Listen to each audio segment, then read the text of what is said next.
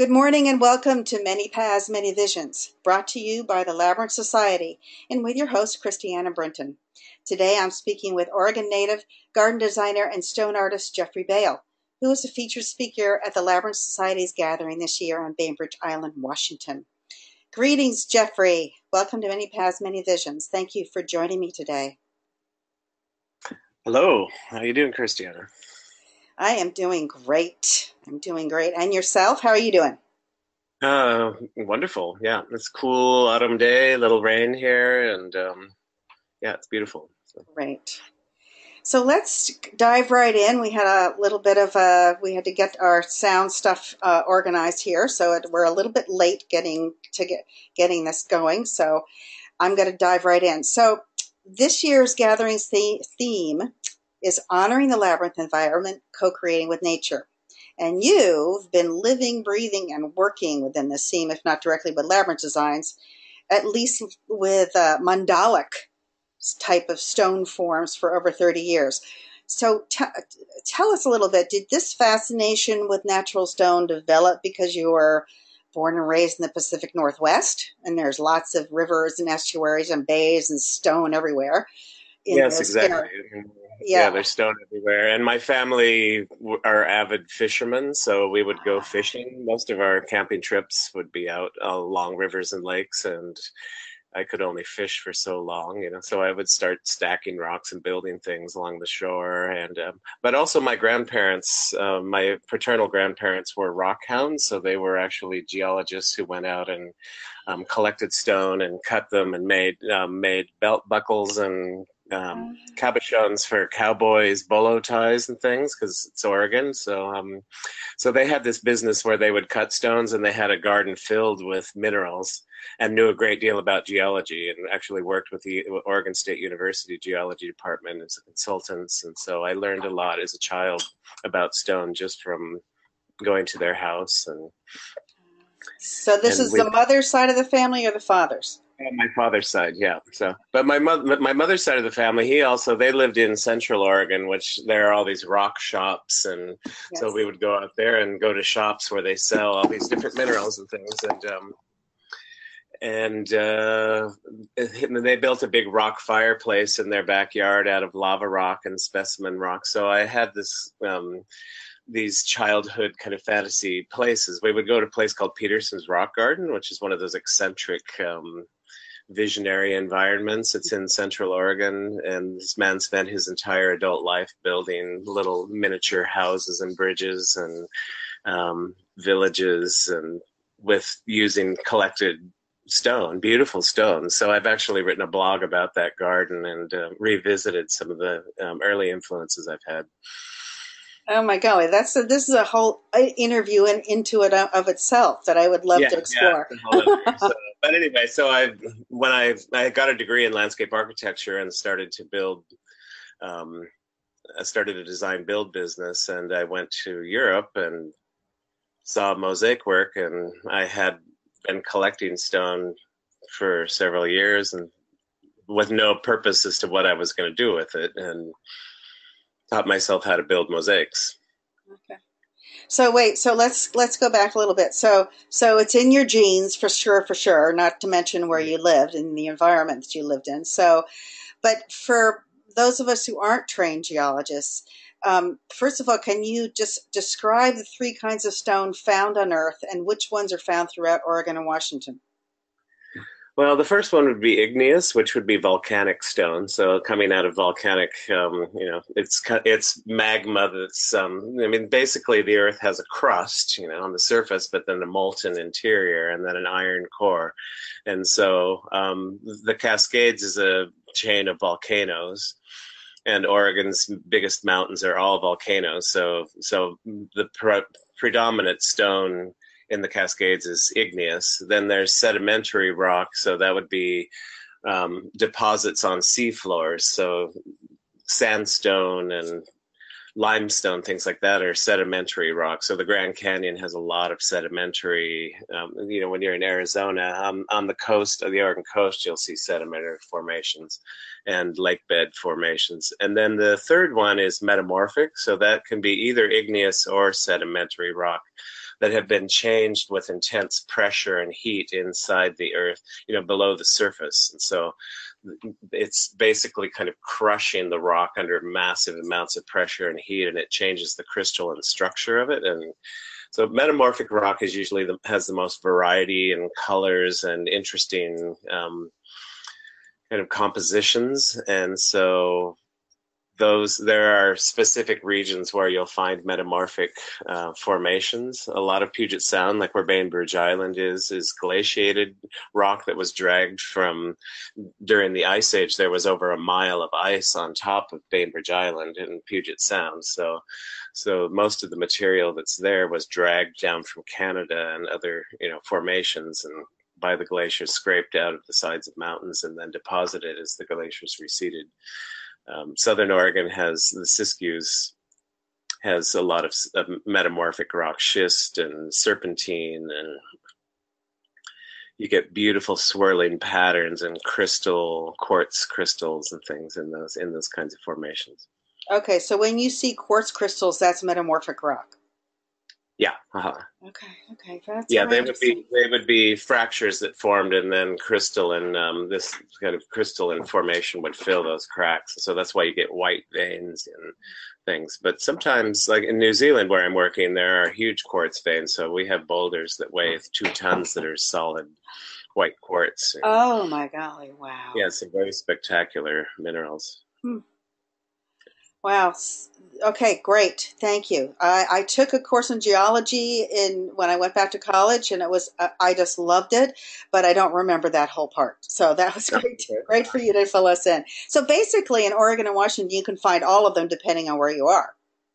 Yeah, but mostly in the region that I live in, most of it is is volcanic, so it tends to be kind of gray or brown, sometimes red lava rock, but the colors aren't particularly exciting. Um, so I don't. So I tend to travel a lot to get my stone. There are stones that were brought down from Montana from these massive ice age floods. The Columbia River Gorge was formed by they think up to a hundred of these catastrophic floods came down across central Washington. And so they brought, so there's a lot of gold quartz and things you'll find on certain beaches. So um, I, so I basically I'm scouting all the time. Anywhere I go, I'm always pulling over if there's a beach or crossing a bridge, and I go down and see what's there. And if you understand geology, you can kind of, you know, realize what the types of stone are and um, figure out where they came from. Find formations that deposited certain kinds of materials and and then it tells you the story of basically how it's kind of like the creation story essentially of how a region was formed and wonderful the, fascinating the story. so so that's a very important thing to me and it gives you a kind of a vernacular for where to start and what to that story I, I tend to try to incorporate that into the work that i'm doing using the stone so that it honors the stone and teaches you something about where it came from. So this is so. So I was going to say, so you know, when you most landscape designers, uh, you know, stone is used all the time, walls, right. paths, terraces. Sometimes they'll incorporate pattern using different color pieces, but you create pictures in the stone with the stones that tell a story. So, is this what you're talking about? This self expression, this form of self expression is telling. Uh, so, uh, talk about this this telling a story aspect because to me, what you're saying here is multi layered. You're talking about the st- natural story, the story of creation, the story of how a, a region evolved, as well as you've got a client, right, who wants a story told or.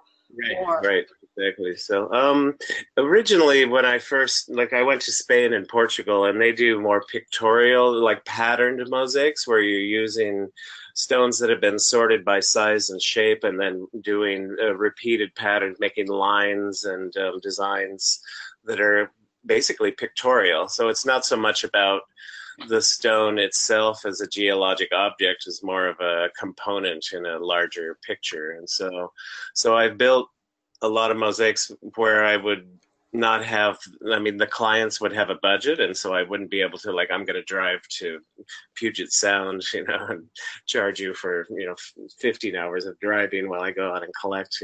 So i would wind up going just to a stone yard and buying a couple of yards of a drain rock or something and then sorting through that and sorting out shapes and colors and then i could make a pattern that looked like a persian carpet or um, some kind of pictorial design. But then my favorite work was always stone that I gathered from the wild, and all the work I did at my home was wild gathered stone. So it has more character. Each stone has individual character, and I tend to do more naturalistic designs. So, so I'm alluding to natural patterns and forms rather than pictorial, kind of human-generated uh, imagery.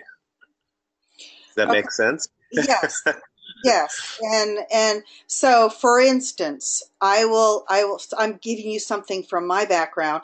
I lived for a while in lindos Rhodes and there they uh, the little ladies the yayas come in and put good luck uh, iconic uh, stone forms in the mandalic patterns in every house that gets renovated there. And it's a there's mm. an art board, and you can't build rebuild a house there without them coming in and doing this. And the the pictures are iconic to a, an island, Greek island, which is it would be an octopus or a dolphin or right, a starfish, right. and and they come in and they do their and the egg the stones are egg shaped and they're on end, and so this is and so this is a good luck thing. So you cross over the threshold. This is guarding the air, the guarding the family, guarding the the site, and providing good luck. So. Yeah and, and then as opposed to the picture that I saw of that wonderful piece that you did of the flow of water, the what the ocean looks like with the right. different uh-huh. colored stones. That's what you're talking about. That's the difference. Yeah, yeah.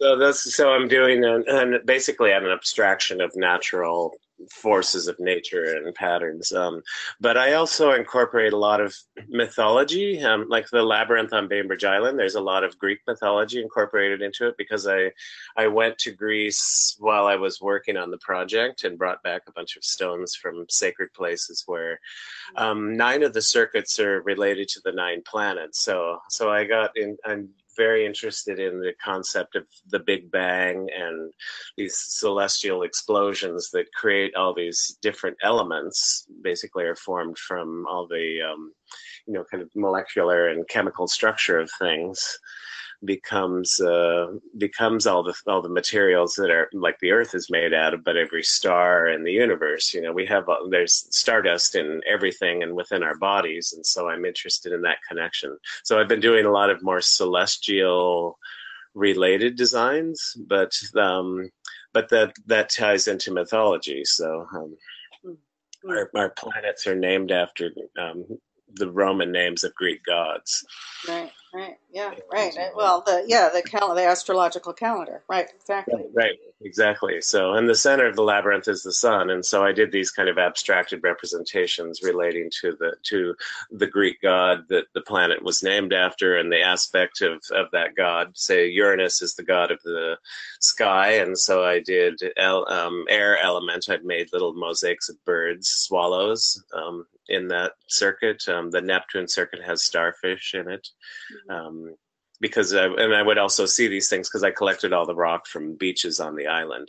Mm. Um, okay, so let's talk about that. Wait a minute. Let's talk about the process that you use. So you have about collecting the rocks themselves. You have guidelines for the gathering of your stones in your blog, um, jeffreygardens.blogspot.com. You write, um, it is imperative to me that I leave no discernible impact on the landscape when I collect stones. Talk about this a little. Why is this so important?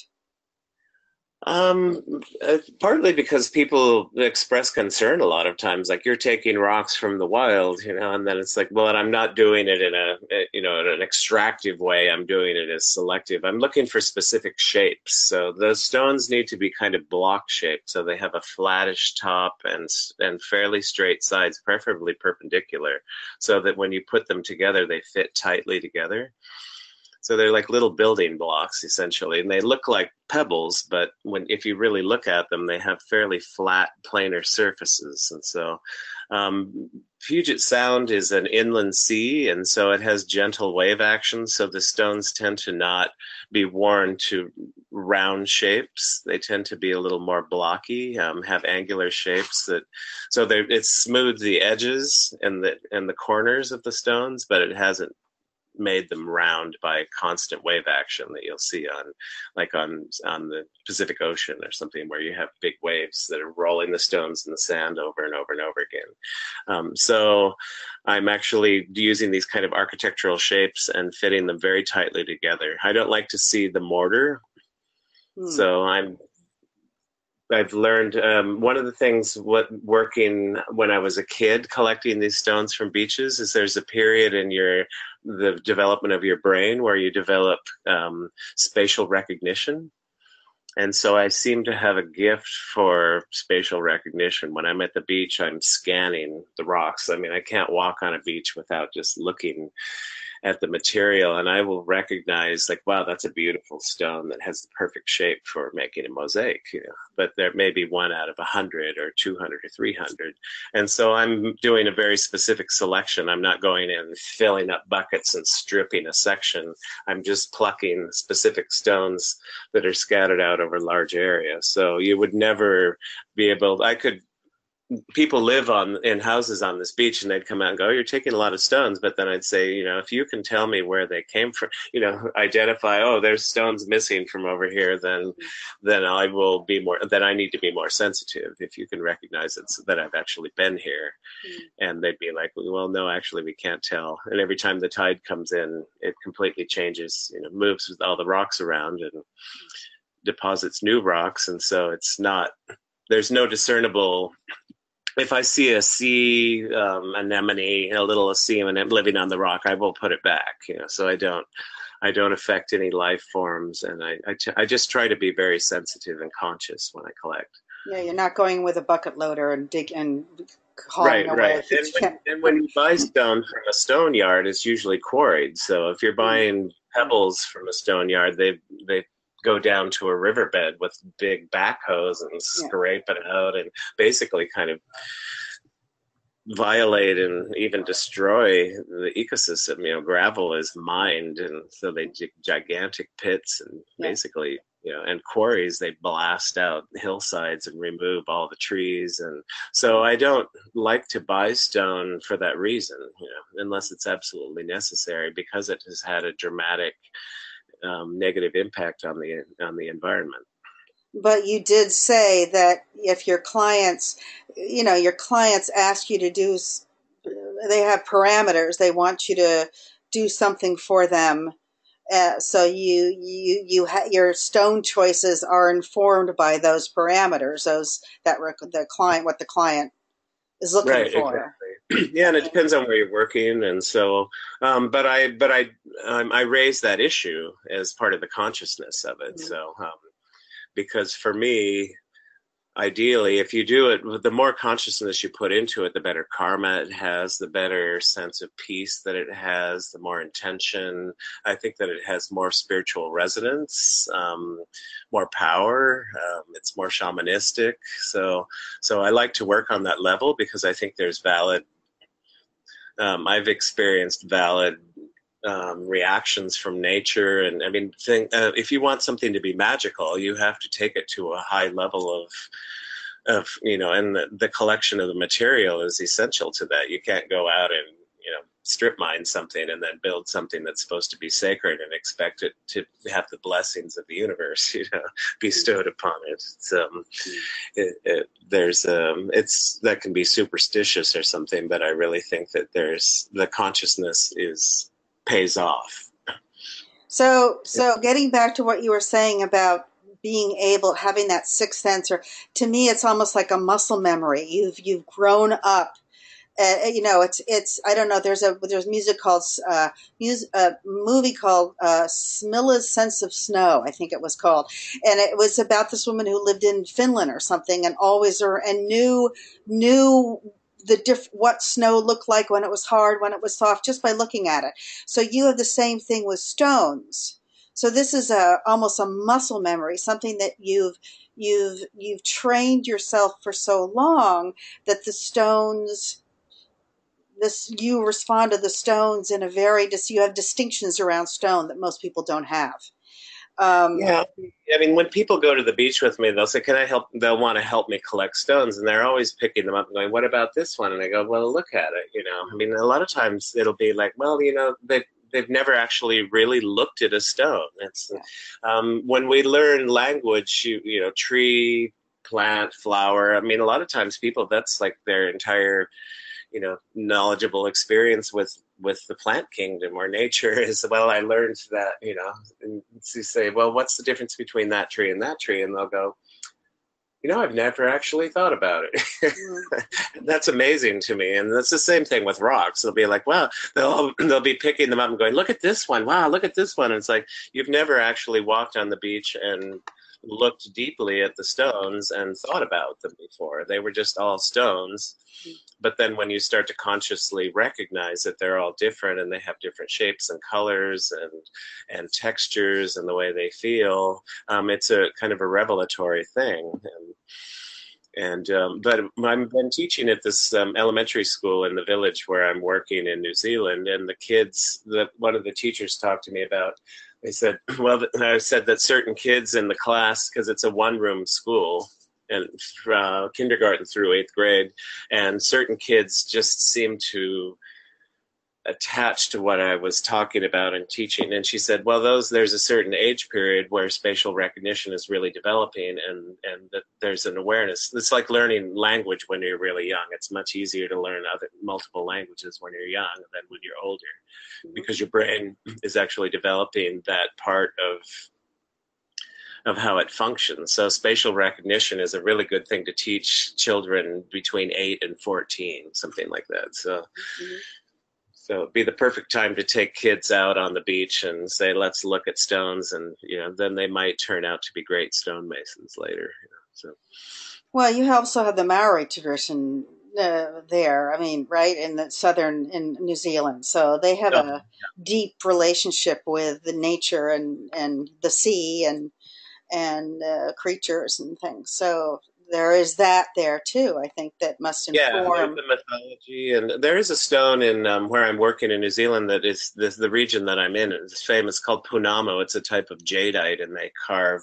Um, all the sacred carving that the Maori does with the stone, it, it's exclusively they have domain over it um, th- from the government. So I can't technically go out and collect Pounamu myself. It's not it's not my right. You have to be Maori to do that. Mm-hmm. Mm and so um, but it's a very beautiful special kind of i mean and i find jadeite in puget sound as well. There's some in the labyrinth so it's, it came down from canada. The glaciers brought it down but um, in canada you know in british columbia you can find big huge boulders of jadeite on the coast and it's a spectacular green um, kind of luminescent stone that has a special properties. It's carvable and hmm. Uh, is there any? Okay, I'm gonna. Uh, you know, I have so many questions. Um, is there any tradition in the in the Inuit tribes or any of the uh, coastal tribes with the, using this material? Um, not really. I think they really worked more with um, with wood, with cedar, you know, uh, carving, um, and then all that rots away. So I don't know that. Um, I think because of the lushness of the landscape, um, it's very hard to for really old things to maintain themselves. I think, like in uh, in Europe, in Northern Europe, you'll see, you know, like Stonehenge type type things. They did a lot of monolithic stonework that has lasted for thousands of years, you know, from late Neolithic periods because because of the size of the material that they were working with.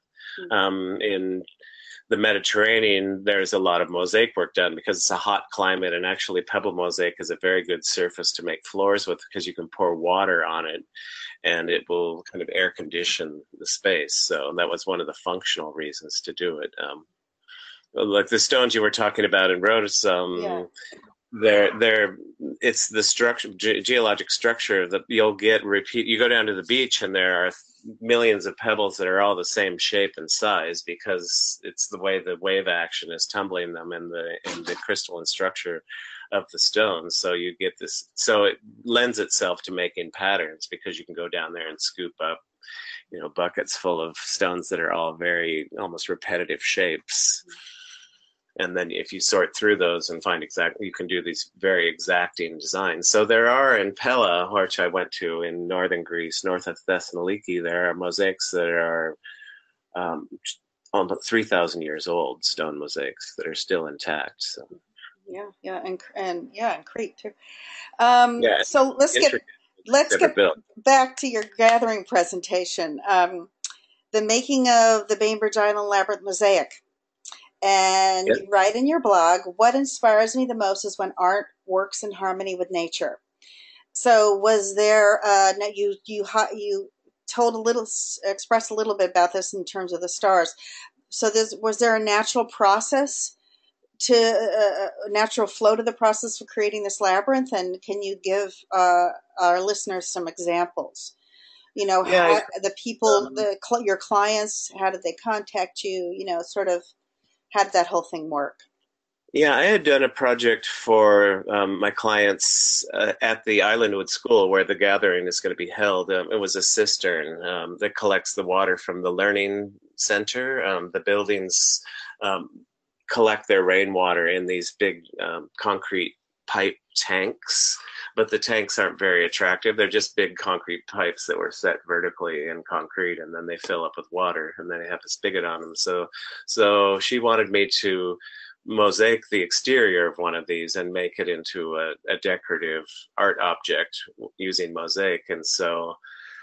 I built basically uh, told the geologic the story of how the island was formed and the forces that made that created the geology of the region. So it was, it was, basically just kind of a scientific thing abstracted in an artistic way to tell you just kind of a story of how of how the region was made and the glaciers and the rivers and faulting and volcanic activity and so those are all represented in in the mosaics and she liked and then i taught the children about these forces and how everything was how how all this, this worked together in this decorative way so that they would have a visual understanding. They could go back to the cistern and go, oh, look, here's the glaciers here, and here's where it melts, and this river's flowing down the side here and creating a valley. And, and um, so it's basically, you know, a visual representation of that. Um, when I got to the site, there was a big lawn there and a labyrinth that had been built by the landscape company that she was not happy with. It was a very simple, I think, three circuit labyrinth. And um,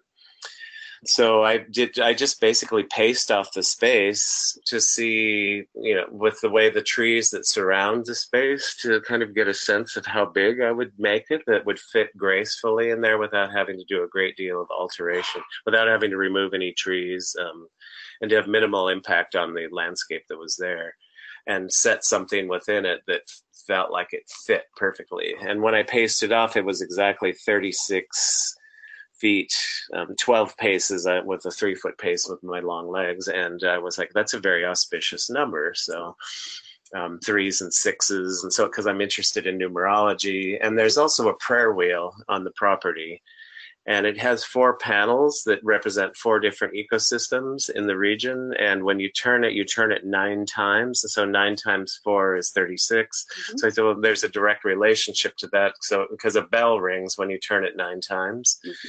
and so that became intrinsically linked to i wanted it to have a direct connection to the labyrinth. So so i started to and so what the design basically comes out of what you can collect you know? It's you you can't change the shapes of the stones and colors you can only you can only incorporate them. So so i went down to the beach which is called rockaway beach.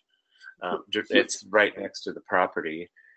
And it's a very interesting beach because the property where the labyrinth is built was the largest lumber mill in the world for about 40 years and uh, the blakely lumber company and it became the largest shipbuilding yard in the world. So they built hundreds of ships in this little bay that is basically a forested little you know um, harbor, there's almost no remnant of any of the original of this once you know heavy industrial you know, um, community that was there. And but ships came from all over the world loaded with ballast. They'd put stone in the ships to keep them upright. They would arrive at Blakely Harbor and they would throw all the stones overboard and then load up with timber and haul it back to Australia, to Chile, to Germany, to England. So there's actually stone from from Japan, um, you know, that was all thrown offshore and it's washed up onto this beach.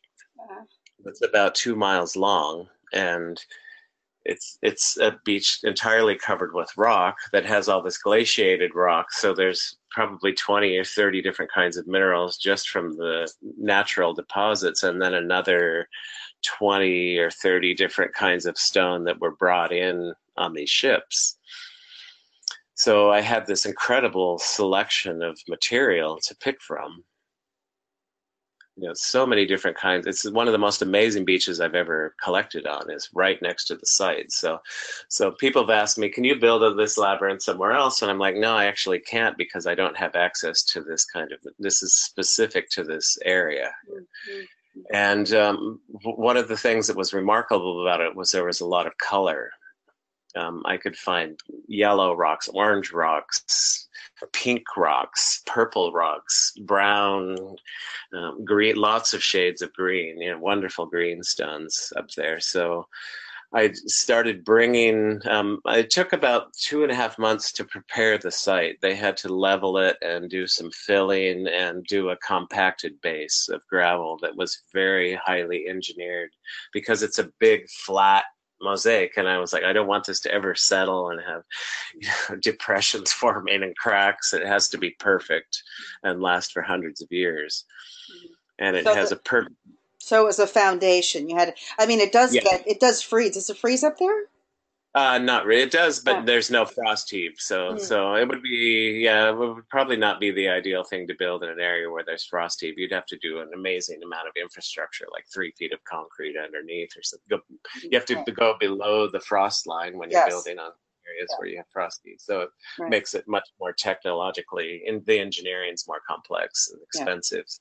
Yeah. So, but basically, they, they did a beautiful job and prepared this perfectly flat site that had a 36 um, foot diameter steel ring that was i said i don't want it to stray half an inch you know at any point it has to be exactly at this point because i'm going to be making concentric circles and if there's a variation in the shape then it's going to get wonky as i go in. Labyrinth that was it was a daunting process because i'd never built a labyrinth before and it has to be pretty you know you have 11 i built a chartres cathedral style labyrinth because you have 11 circuits but you also have the center um, which is the rose in the chartres cathedral labyrinth. So i just made it a circle and um, that was the 12th ring basically for me so you have three sets of 12 is this, this 36 diameter um, the four panels it all it relates to the seasons mm-hmm. and the 12 months of the year the 12 moons that you'd full moons that you'd have during a year so it started to attach i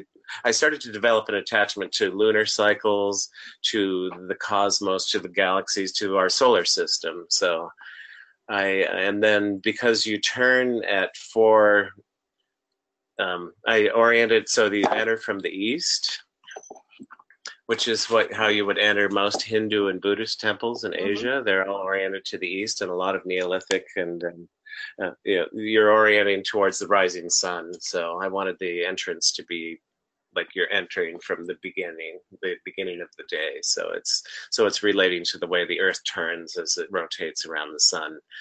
And and that relationship is direct and, and real. And then um, so you're you're entering in the east looking west. Yes, yeah, yes, exactly. So I had eight huge boulders placed around it on the cardinal points so that it would be like a compass surrounding the labyrinth, and you could and and then you turn at the cardinal points. So you're entering from the east, and so when you're on, the, so the the circuits that turn in the, directly facing south, and then west and and north, and then that creates four quadrants within the labyrinth, and those mm-hmm. become the four seasons. Mm-hmm.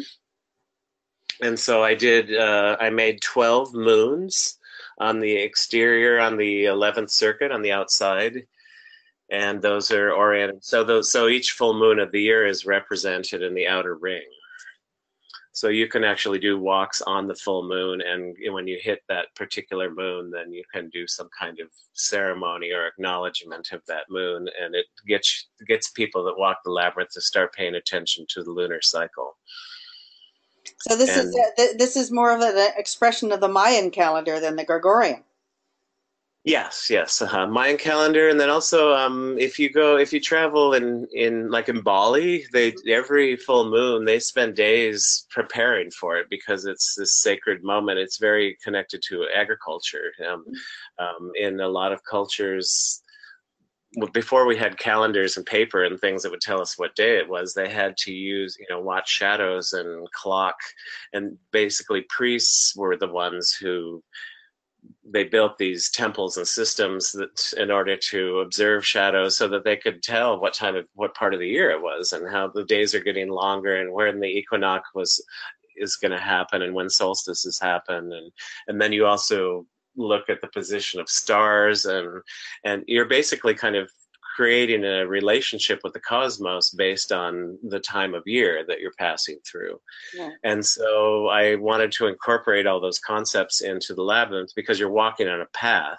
And I thought it would be much more interesting. Usually, a labyrinth is just a pattern, and you're walking on this pattern, but it doesn't. the The path doesn't change it's the same material all the way around. So you're walking in circles, but I wanted it to be you're walking through time and space and through the cosmos and through the seasons and and that you can recognize those by the colors of the stones that you're stepping on, the symbols and the mosaics that I'm creating, and um, yeah, patterning and the and where I collected them from. So it becomes this kind of you know the, it becomes more and more layered and complex and fascinating. So it, just developed as a story. So I started bringing all these rocks and I'd pile different colors in different areas and see what I could come up with. And and um, I developed the ideas as I built it. So it wasn't all clear in the beginning. I had a sense of things that I might want to incorporate, but it really evolved as I did it. And so, so this is what you're talking about. in your blog, you talk about capturing the essence of what you're trying to allude to and creating something that captures a soul. And you write, it all relates to the way we flow through life. So this is a, an ancient way of being in the world that we've sort of lost that the yes, lab, exactly. that the labyrinth has brought us back to uh, pre-Gregorian, pre, uh, you know that it's that we relate. You know, there's a time to sow and a time to reap, and it's all according to the lunar and solar cycles.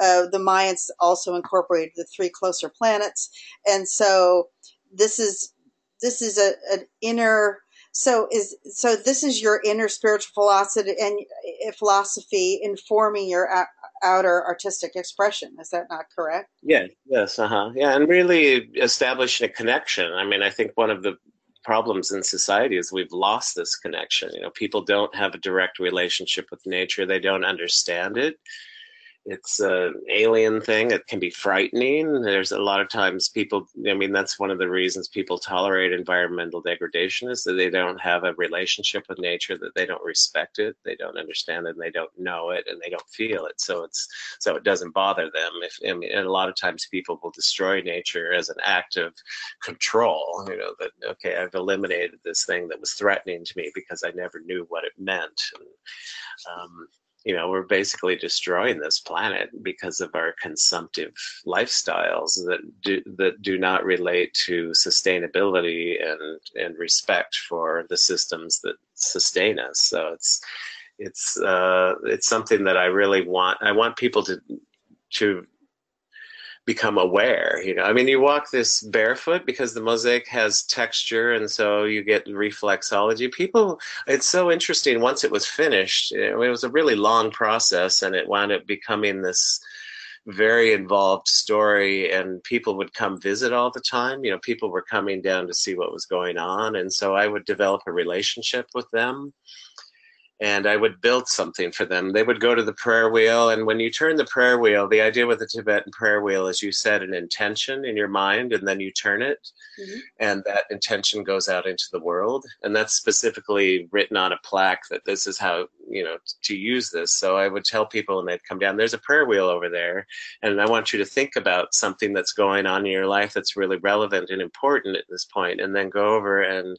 set an intention and do do something that you would like to see happen in your life or for somebody or just whatever comes to you that feels resonant and then i will make you i'm well because we've come here and had this conversation and you're doing that i'm going to make a little symbol in here for you so when you come back and walk the labyrinth later and you get to this spot, you'll say, oh, here's my little flower, my little you know, thing that he made on that day. And it'll make you think about that day and the thoughts that you were having and your intentions and what the weather was like. And, you know, it, it, it'll cause, it'll create some kind of distinct memory. And, and that became the intention that as I met people, I was like, we're going to create a moment in time that is encapsulated in this spot in the labyrinth, and it's part of the evolution of how the story's unfolding as it's being built. So when we had the dedication, about 200 people came, and they were all people that I had met as I was building it, and most of them had something that was personal integrated into the labyrinth itself, so that they could all they could bring people and go, here's this, you know, this is what he built when we had this conversation, and you know, and so it, and and then a lot of intention was created.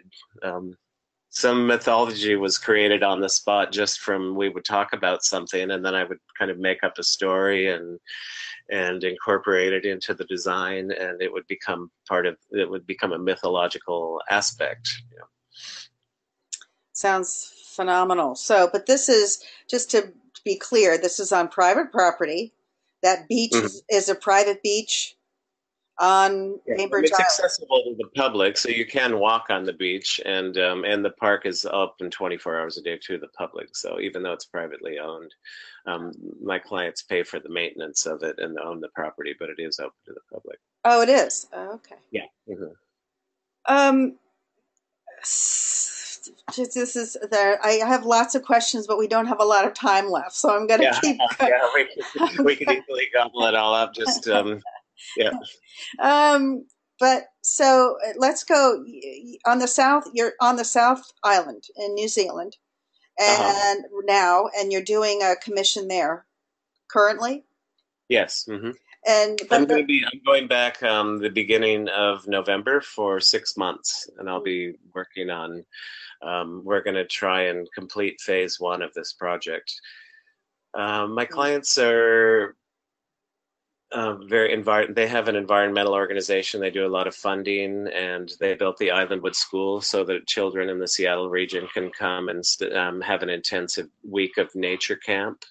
Um, the classes are taught by environmental education graduate students and so they create these kind of um, institutions where they're teaching they want to teach children about nature so that they will have an impact on the environment and the world it's the way to change the world is to teach children to respect nature and then they'll incorporate that into their lifestyles and teach other people and and so in New Zealand, this project is a um, it's meeting Living Building Challenge standards, which are the highest environmental standards for construction in the world. So non-toxic materials, a lot of recycled materials. It's the largest solar power installation on the South Island, so it will generate a week's worth of um, electrical reserve for the community um, has all composting toilets. It treats all of its gray water and black water and um, collects all of its runoff into big underground reservoirs, and that's treated so that all the drinking water um, and toilet you know, well there aren't flush toilets so but but all the water used on the site is going to be collected on the site so. And so reused, has, reused reused yeah, yeah re- recycled recycled recycled yes Yeah, and so they're using all the latest technologies and bringing all these things in. So it's an educational thing. They they're developing it so that you can give tours and take people around. And so here's the solar meter hut that shows how much electricity was generated by it. And they have maybe ten different kinds of solar collective uh, technologies going on and um, heat exchange and insulation and um, the way light gets into buildings so that you don't have to use as much electricity. So it's all about showcasing technologies and ideas.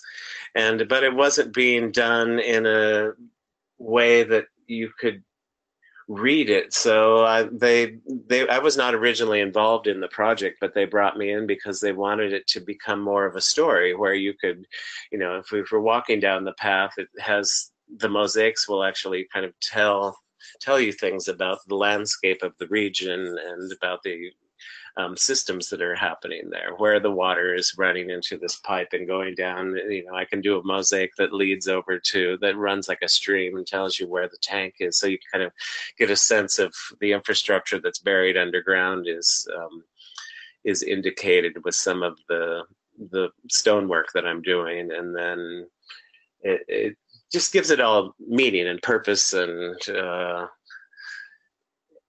to so that it's not just random decorative stuff it has more it has a that's i guess what my specialty is is to bring in as much meaning as possible so it's um, to really scour the concepts for ideas and scour the landscape for ideas and develop a direct connection. Um, the Milky Way is spectacular there, so I'm building all these mandalas. So it's basically I'm building kind of a Milky Way galaxy on the ground there. So at night, when you look at these starburst mosaics and look up at the sky, you'll feel like there's a direct connection. Mm.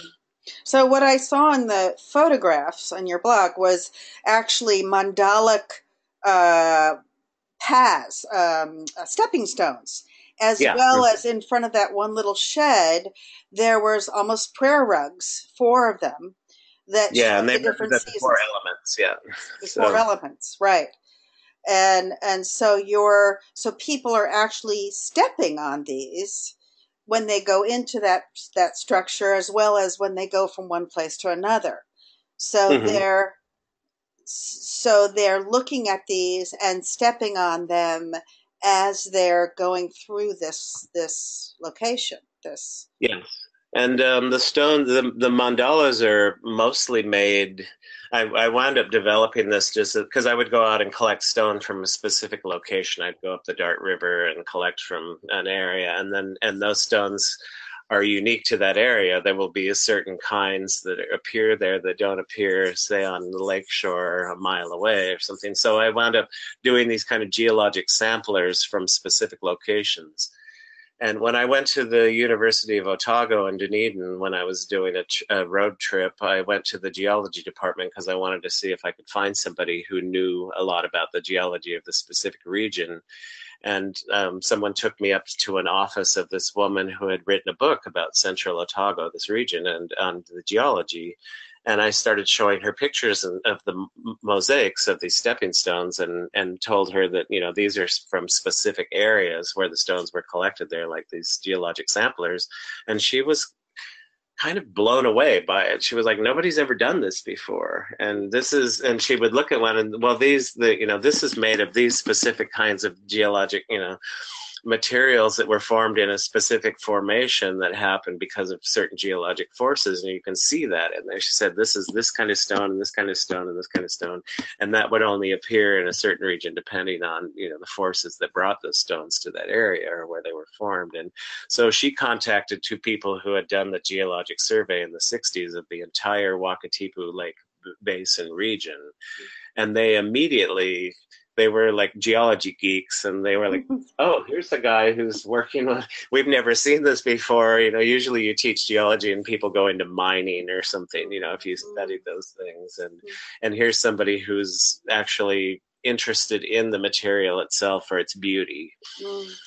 and, um, and showcasing it and arranging it in ways that kind of look like geologic form formed naturally formed things their patterns and so they came and they brought uh, a loupe, magnifying glasses, and we they identified every single mineral that I had, and would be pointing. You know, this stone came from a vein in that. It's called this formation that occurs over there in the Humboldt Range on that side, and and they brought me this beautiful geologic map of the area, and so they could actually tell me where the specific a pebble came from. Wow, how exciting! That must have been so exciting for them yeah it was exciting for them and it was really what it was kind of like a fantasy for me. I mean i've always wanted i wanted to do it on bainbridge island but there wasn't anybody that had the knowledge. So hmm. um, i was able to identify some of the stuff but i didn't i haven't yet had a geologist. It would be fun to bring a geologist to the labyrinth because they could say oh this is you know. They would identify i mean i've incorrectly identified a lot of the minerals because i don't know them mm. as well as I should. And so having somebody who knows all the scientific names of everything and the crystal, and they can get a magnifying glass out and look at the crystal and structure and identify a specific mineral is fascinating to me, you know, so. All right, so I have one more question, and then I think we have somebody else on the line here. I think wants to ask ask a question, so we got to get to that. Um, you you worked with uh, uh, on the South Island when you were the you've done you've been to the South Island a number of times to in, in order to create what you're creating there, and you worked with a local artist Carolyn Robinson, Caroline yes. Robinson, who yes. visited the Halls Hills Labyrinth on Bainbridge Island and created yes, a 7th uh-huh. Circuit labyrinth on site for you in New Zealand to walk in Glenorchy. Is that how you pronounce it? Yeah, Glenorchy. Glenorchy. Glenorchy. It's a Scottish and you write, My wish is to incorporate ceremony and frequent blessings into the development of the projects to keep them meaningful. Have you been able to honor this wish since then in a specific way or just through the mandalic uh, uh, artistry that you're creating there? Yeah, it's been kind of tricky because a lot of, I mean, there are about 40 people working on the project. It's a big project. So there, there's a big, there are all these construction crews working and generally they're just constructing. You know, there, mm-hmm. there are only a couple of piece, people that have artistic training working on the project. Mm-hmm so I have about five or six people that are helping me prepare sites, and I wind up working seven days a week because I'm like, well, let me build the landing to that you know cabin because you're just going to pour an exposed aggregate you know mm. driveway. Mm. Something so let me build a threshold and then we can pour the driveway up to it. So I'm really kind of doing a lot of intervention and running to keep ahead. Oh boy! Wow. The um, Caroline lives on the North Island up in Auckland, and so it's been kind of there, there's. It's funny. There's a little bit of um, there's provincial attitudes. So um, uh, I was called the crazy American for a certain amount of time. Um, then, ironically, I found out that I had relatives that moved to the South Island in 1860. So I, I have ancestry that precedes almost everybody in the area. Oh, that's great. That is. so then they were like, "Oh, wait a minute. Oh, oops." Yeah. And Caroline's from the North Island, and they always kind of shunned her more than me because she's from the North Island. There's a oh. rivalry. Uh, so, um, Oh well, it's amazing. She did a project called the Basket of Dreams in Queenstown. That if you Google it, it's incredible. You know, she's done some really wonderful things. But um, I don't know that we'll be working together in the future or not. I'm not sure. So she has a lot of knowledge of Maori culture and um, a lot of ideas, but she's not there. I'm there all the time, and so I'm I'm really engaged fully in this. And it's it's harder to bring people in on a you know just for have her show up for like four or five days and have a big amount of input when I'm I'm I'm always con- trying to convince her that I've actually thought these things out for weeks in advance, and instead of just like, oh, let's sit down and try and figure out what's going on. It's like I already have. So, mm-hmm. so, um, but I her work is amazing. So and and one of the things that we wound up doing because we were kind of not competing artists but coming from different perspectives is that we would do these i would call on her to do some kind of maori ritual so that we could um, find ways to to connect and on a deeper level. You know, there's this thing where they press your foreheads together and you breathe. So if we were having some kind of little sparring argument or something, say, okay, let's press our foreheads together and breathe each other's breaths. Mm, yeah. and it would really, it would really work with her because she was very intense, you know, and that would make her um, be like, okay, now we're we're we have this heartfelt connection again. Let's work from that instead of working from, you know, you're not doing it the way I would do it or well, this has been wonderful. I mean, I, I, I could go on for hours with you. I could ask millions of questions. I wish we had more time. Uh, Denny, are you there? Can you unmute yourself and come on? If you have some questions of Jeffrey, would you like to ask them now? Well, hi, Christiana and Jeffrey. How are you doing today? Hi, hey, this, great. This is Denny Dyke. He is the other featured speaker at the la- at the gathering this year. Go ahead, Denny. Uh, yeah, Jeffrey, it seems like your work takes a little longer to accomplish than mine. I normally finish in about two hours. Yeah, yeah, well, I love that. I mean, I think that it's like it's sort of full spectrum this way. So I'm oh. working geologic time. Although you're working, you know, sand is the most profound thing there is on the planet for me because if you look at that with a magnifying glass, it, they're like stones, but they're teeny. You know, every single one is different, and you have trillions of them. So it's uh, yeah. Well, I'm really looking forward to uh, the gathering and meeting everybody with Labyrinth and you and Christiana. I'm looking forward to talking to you next week. Okay. Do you have yeah. any, any other specific questions for Jeffrey or?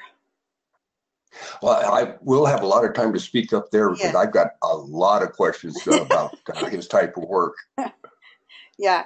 I, I am the same way. It's like uh which one do i start with? But um do you have one specific one that you want to add right now for this interview? Uh, exactly how long was the project on bainbridge island?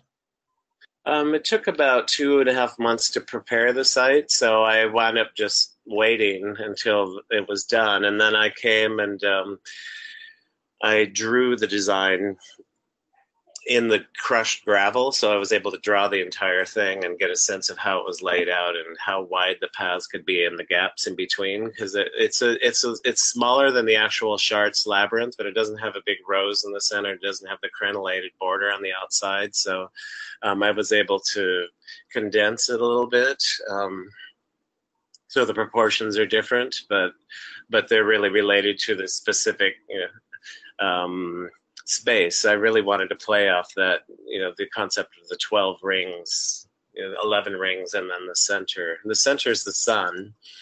It has a lot of stones from Delos, where Apollo was born in Greek mythology. I went to Delos with a, with uh, with these archaeologists because I was there in the winter and got their blessing to collect materials and and um, so there's a direct connection with Delos in the center of the labyrinth, and then the nine planets or the inner nine rings, and then there's a Tibetan mala with 108 stones in the 10th circuit, and that relates directly to the uh, to the prayer wheel.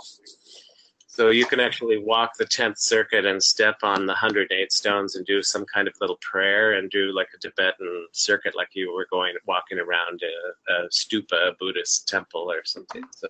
Mm-hmm so, so it's incorporating all these different kinds of concepts and religions and beliefs into into this cosmological wheel, basically. That it's just so interesting. It was wonderful to be able to bring so many different kinds of ideas into it, and just through intention, I guess. You know, I, I want to do this, so let's do it, and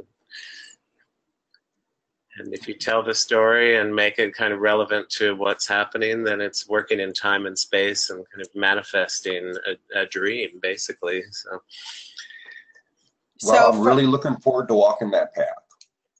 Yeah, yeah, it's a really interesting one. Yeah, people cry sometimes. It's interesting. You sit and watch, and they'll be walking, and they'll just all of a sudden burst into tears, or they'll, you know, come over here and look at this. You know, they'll recognize something special, and then if I'm there, I can go over and say, you know, actually, that's really interesting that you're drawn to that, because it's this was what happened when I built it, and and they'll be like, wow, that's amazing, you know, because it wind up being they'll have an intuitive sense develops or or just something attracts you because of the beauty of the materials or or some little object that's in there and but it all is relevant there's something there's a reason that everything's there it's not just a decorative thing and i was just making it to make it pretty it it has a soul to it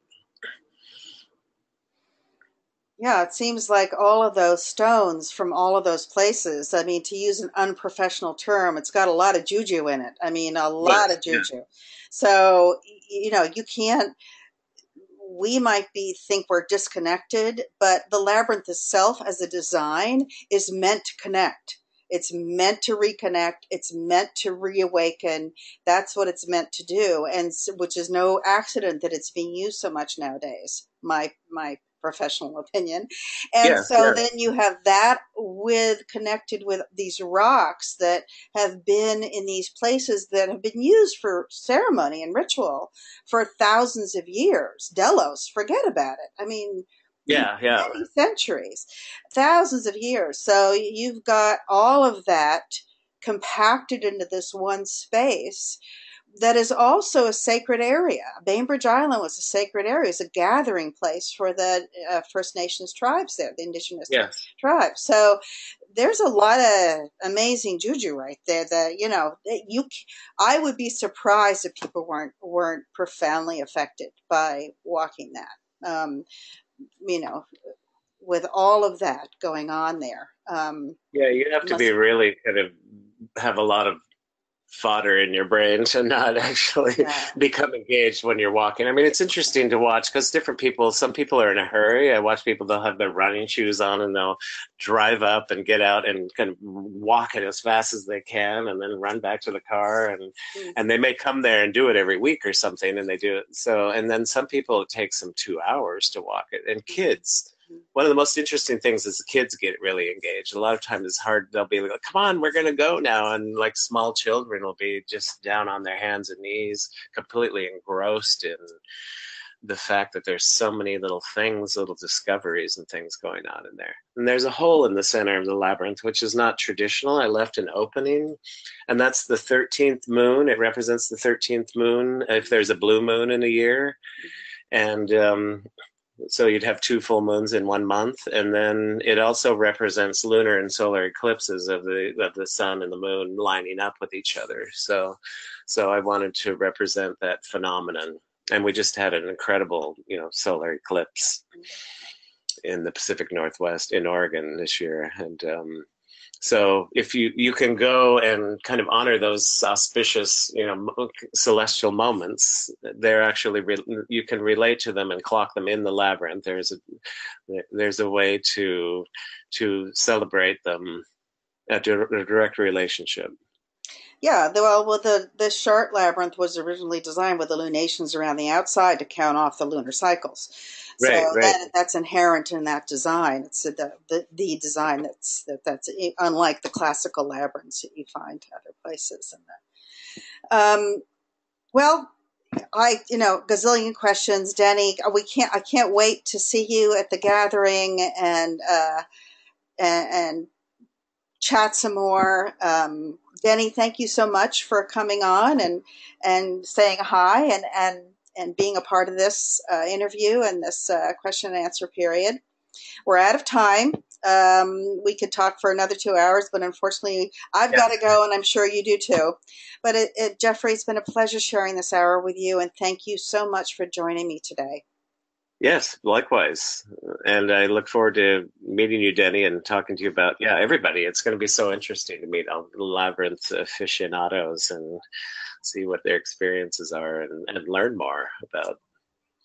Yeah, I, I, I, I, you will have a lot of people glommed onto you for the whole, the whole entire time that you're there after your, your, feature your keynote at your address because people are are will be absolutely fascinated by this. I mean, people who walk labyrinths a lot will just completely get it and understand, and and it'll. I think it will make a huge difference. And thank you so much for for being a part of, of this. And thank you, Lisa and Stephen, for contacting you and and and having you uh, be be the feature speaker, getting you to be this one of the feature speakers. It's wonderful. So many continued blessings on your path, and and have a wonderful time uh, for the next six months in in New Zealand. Lucky dog, lucky. How wonderful is that? It's a, an extraordinary place. I have been there. It's I would go back there again in a heartbeat. Yeah, it's going to be great. And people should read the blog because the um, the blog that I wrote. I mean, it's kind of hard to navigate because I think there's 12 of them or 13 of them total, but they're very in-depth stories about with pictures of the people that I would meet and the, what I built for them and the story. So, so there's kind of like a diary of the entire creation of the thing in great detail. It takes a few hours to read them all, and um, a lot of history and yeah. So it, it it's so that people can have a, a really intimate sense of what what it really is when you walk it. You can actually learn that from just reading the blog. So it's available on the internet to all that information. And what's the blog? Can you give us the name again? Um, jeffreygardens.blogspot.com. But if you Google my name, Jeffrey Bale and Labyrinth, then, um, then links to the blogs will come up. Okay. And um, and that'll uh, each circuit is featured in a blog. So when I would build, say, the Jupiter circuit, you know, which is the I think the the, the seventh, or you know, the Neptune is the ninth, and the Pluto or the Pluto circuit's the ninth, and the Neptune circuit's the eighth. And so they, so those are planetary and have identifications. I talk about mythology and the and actual the actual physical aspects of the, the planets themselves. Um, Right. It's just like a, it's a it's an opportunity to learn and expand our knowledge of the universe and and feel more aware. Okay, great. Thank you so much, Jeffrey. Um, yes, can't wait to, to yeah, can't wait to see you in a in a couple of weeks. Great. Thanks so much. Okay, you are very welcome. Take good care. You too. You've been listening to the Labyrinth Society's Many Paths, Many Visions broadcast by Spreaker with your host, Christiana Britton. Be sure to check the Labyrinth Society website, our Facebook page, and global group for a list of upcoming dates and guests. Also, if this podcast has piqued your interest in the Labyrinth Society and you'd like more information about membership, please go to www.labyrinthsociety.org forward slash membership. Thank you for listening to this podcast episode, and may you find what you need on your path through life. Namaste.